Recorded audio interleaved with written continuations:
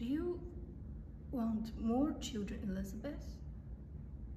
That is a tactless question. You, you don't have to answer.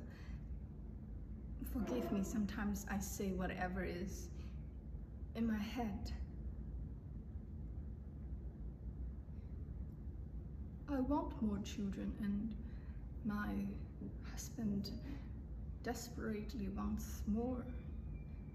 But I am afraid of another birth, When I have birth, I remember so clearly the moment her head was coming out of my body.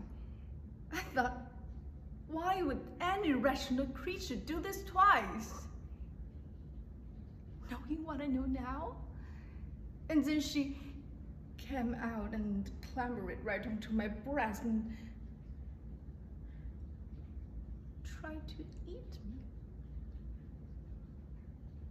She was so hungry so hungry terrified me.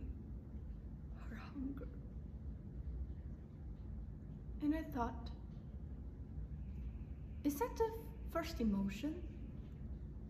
Hunger, and not hunger for food, but trying to eat other people, specifically one's mother. And then I thought, isn't it strange?